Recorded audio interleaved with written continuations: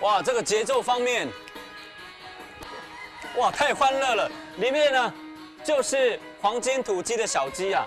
那我们汉中特别把喇叭呢放在离小鸡最近的地方，因为呢，音乐是要给他们听的。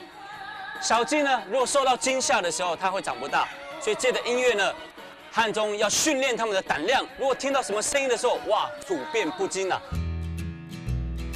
安硕部落的原始林野放鸡，不仅鸡屎不会臭，鸡还不怕生啊！连小鸡都用流行音乐训练胆量啊！